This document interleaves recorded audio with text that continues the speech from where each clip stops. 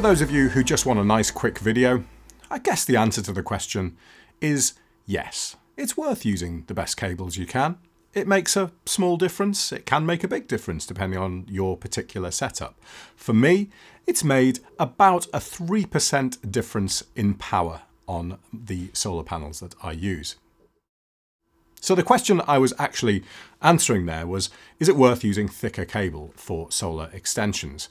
Uh, I think a big mistake that people make when they start out with solar is they think that they can extend solar uh, panels to their house or something like that by using just thin cable. Of course, solar is all about current. It carries a lot of current. If you've got a good good sunshine, a solar panel cable can be carrying 9, 10, 11, 12 amps of current.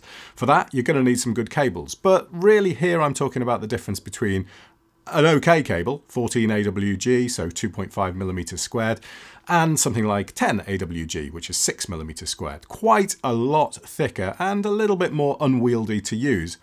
So what I thought I'd do is I'd take my four Renogy panels, I've got four 175 watt panels, and I know from experience over the last year that they all perform pretty much identically. You can have the same, well, if the sun's in the right position, you can have pretty much identical wattage across them. So I thought what I'd do is I'd take the two, because they're wired, they take two are taken out into one PV input, two are taken out into another, and I thought I'd take two of them and replace it, I'd replace the 12 AWG with 10 AWG and see if it made a difference, just, just because. Overall, I have seen about a 3% improvement in power over the old panels. And of course, the sun, again, I have to say, this is only when the sun is in the right position because other things can affect, because the panels are in slightly different places, it can be affected by the angle and stuff like that. So let's just take the times of the day when the sun is pretty much identically shining down on those panels.